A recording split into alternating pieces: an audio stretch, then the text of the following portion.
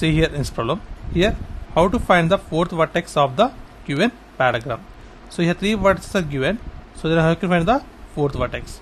So let us assume that this is x1 y1 point this is x2 y2 point and this is x3 y3 point.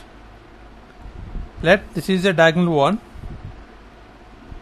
and this is the second diagonal so according to the properties of parallelogram sum of the x coordinate values of diagonal 1 is equal to sum of the x coordinates of diagonal 2 so that is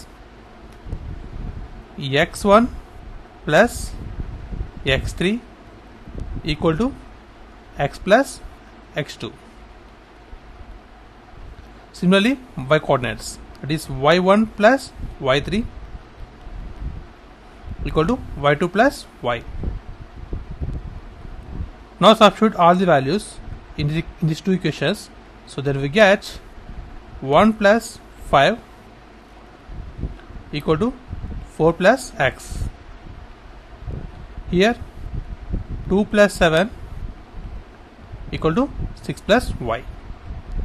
So from this we'll get x equal to 2 and here y will get 3 so x comma y is 2 comma 3 and this is the fourth vertex for the given parallelogram and this is the process of simplification.